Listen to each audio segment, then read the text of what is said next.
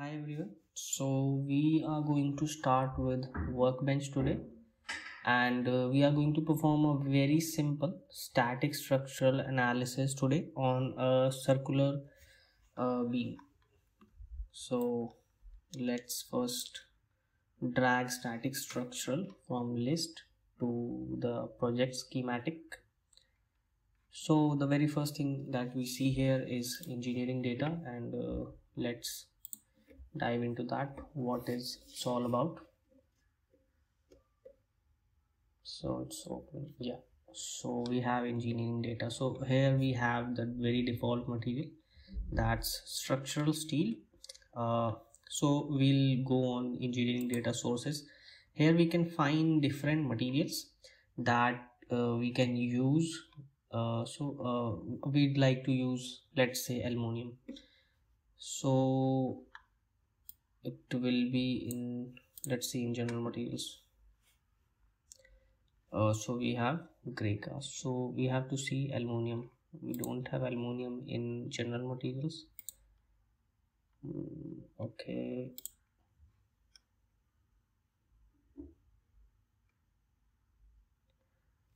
Let's talk a bit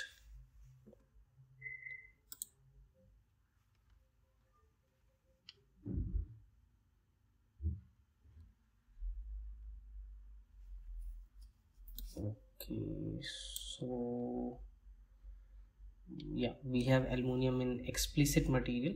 So we'll be importing al double one double zero. That is the most pure form of aluminum that's present. So we'll use plus sign and we have imported it in our engineering data. So now this engineering data will be reflected into our ansys solver part so we'll go out of that. I'll uh, we'll move out of engineering data part. Now we next come is geometry. So we have to form the geometry. So uh, we can either use three space claim design modeler geometry or like discovery geometry but we'll go with space claim.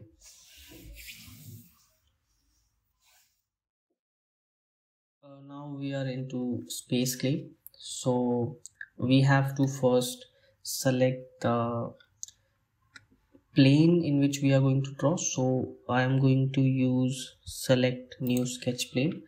And I'd like to uh, sketch my geometry in XY plane. Yeah so I have selected XY plane. And I have changed the plane that I'll be using for sketching so we have entered sketch mode. And as we said that we are going to model a circular beam.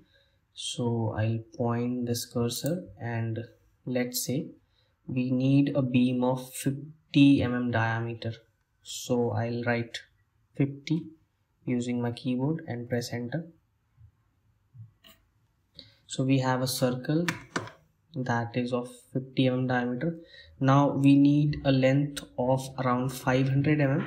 So uh, we'll use this tool uh, that is pull. And uh, now we can pull using this tool. So like we can see and now we'll put 500 here and press enter now we have a beam of 500 mm uh, this beam is a solid beam. So yeah we'll first go with solid beam. And I'll say okay exit space claim. And I'll click on exit. Now uh, we have we can see as we have exited from space claim now we can see that uh, our model has uh, refreshment sign. So what we can do we can do a right click on that and click left click on edit. Now we'll be entering Mecha ansys mechanical uh, where we are going to mesh our model and going to solve it for uh, different equations. Now we have entered the ansys mechanical part. And uh, first thing that we can see here is geometry. So we'll expand this part and we have the solid part. Uh, if you can see here in material part you will find that we have assigned material as structural steel but we have actually imported aluminum. Uh, we wanted this uh, this uh, circular bar to be of aluminum. So we'll change it to aluminum. So we have this material aluminum 1100 so we'll change that okay so we have changed the material from structural steel to aluminum now. We'll see the material as we have both the materials mentioned here. Nothing impressive. Okay so meshing. Now we can mesh it for the default settings. Let's see what uh, mesh do we get from here. And it's a fairly coarse mesh if you can see and this might not give us a very good result. Uh, let's see the statistics. And we have just 253 elements. That is like very low. So uh, uh we'd like to have our elements close to 1000 like two elements every mm of this uh, circular beam. So okay what we should do is we can change the sizing. And uh, we have to select the geometry now now uh, we have to select right click and we can change the cursor mode to body now. Uh, we have selected cursor mode to body so that we can generate 3d mesh like tetrahedral or a hexahedral mesh. Uh, as uh, the bar we have is thicker than 5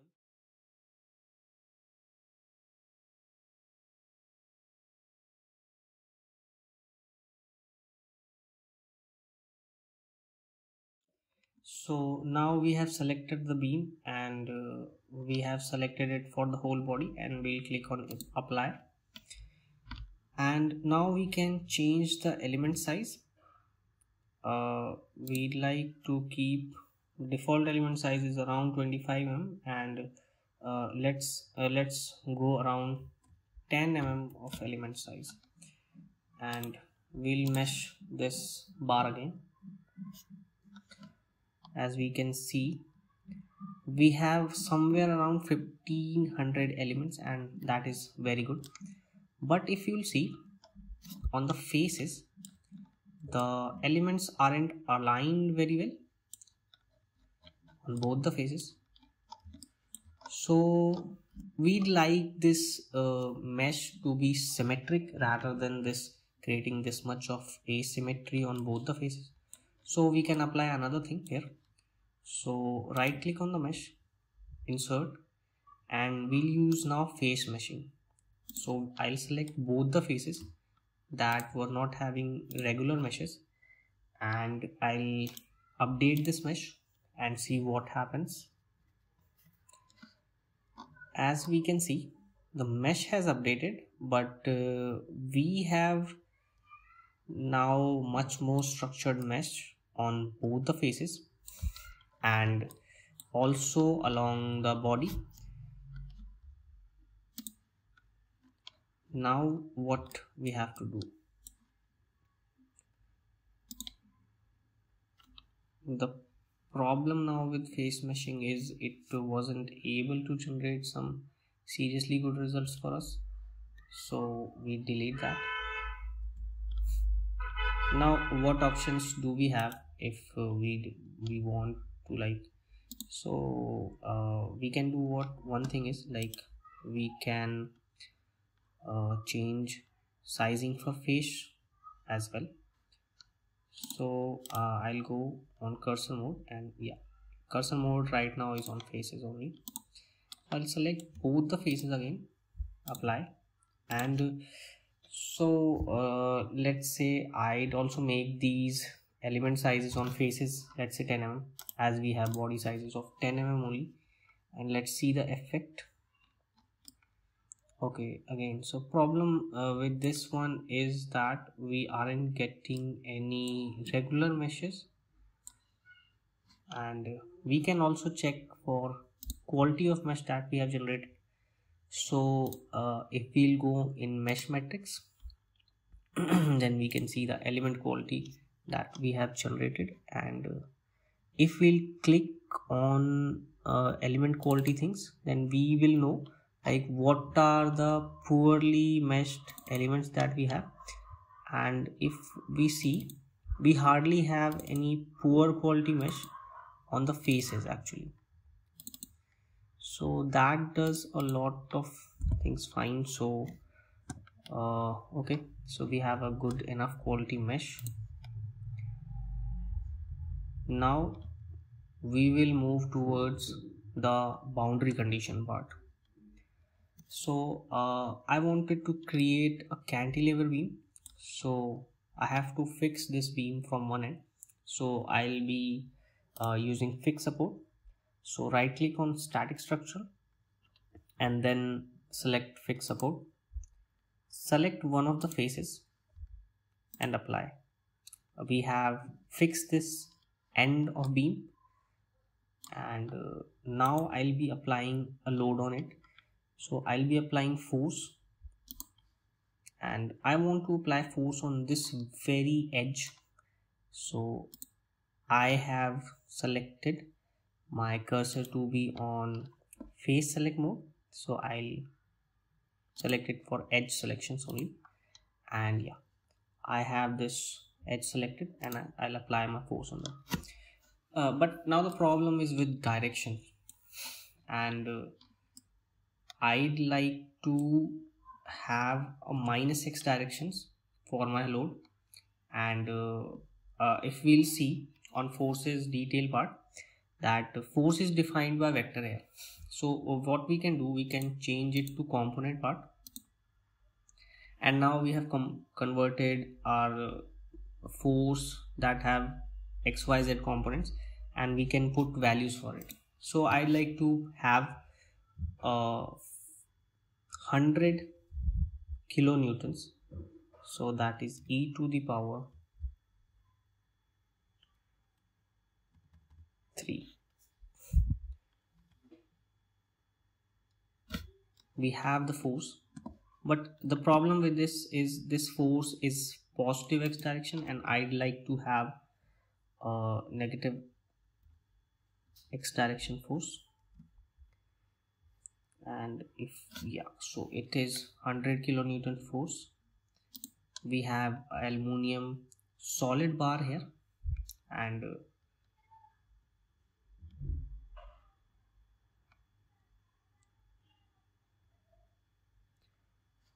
here what would we like to do is solve our model. As we can see we have a question mark here so probably we haven't been able to provide everything to the model yet. So yeah we have two different things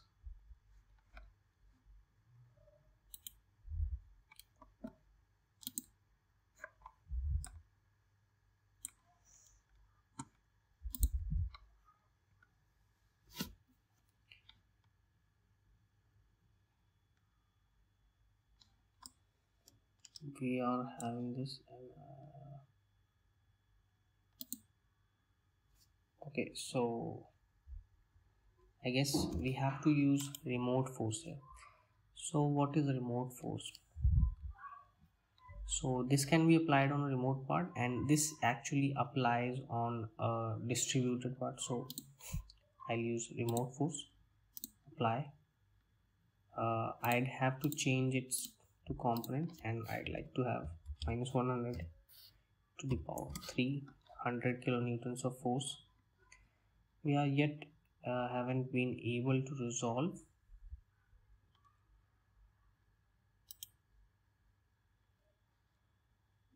model so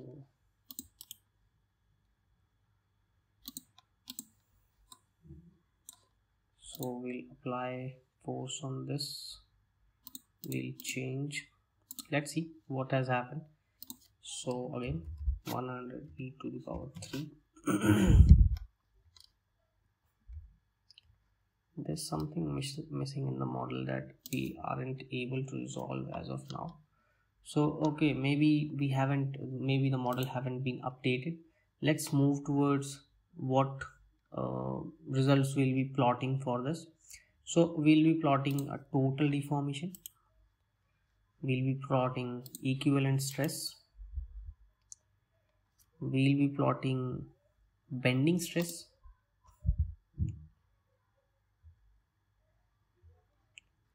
Okay so we have to actually apply something called path here.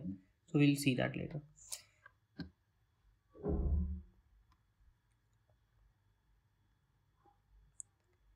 I'd like to also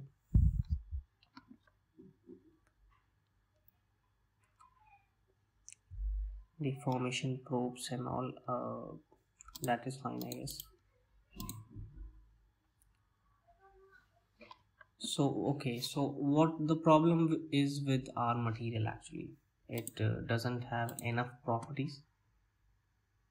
So we have to change our material and uh, let us take aluminum alloy 60614 for now. And yeah we have a very good sign here.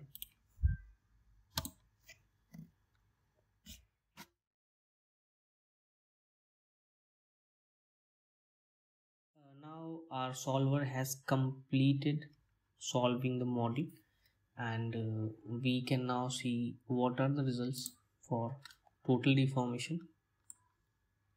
So as we can see this end of R that was expected has deformed most and it has deformed most in negative x-axis yeah so we'll plot it along y yeah as we can see equivalent stress has crossed a 4000 mark. That is way too much actually so we can also change how our results being plotted. So we can go on results tab. Then we can change we if we don't want to see like our mesh elements also so we can uh, hide wireframe. That is no wireframe option. And now we have no wireframes here and we can also like have an undeformed wireframe model as well. So if we can see here a shadow that tells us that this part is actually undeformed and this part is what has happened after results being plotted. Now we can also change our contours uh, this has gone smooth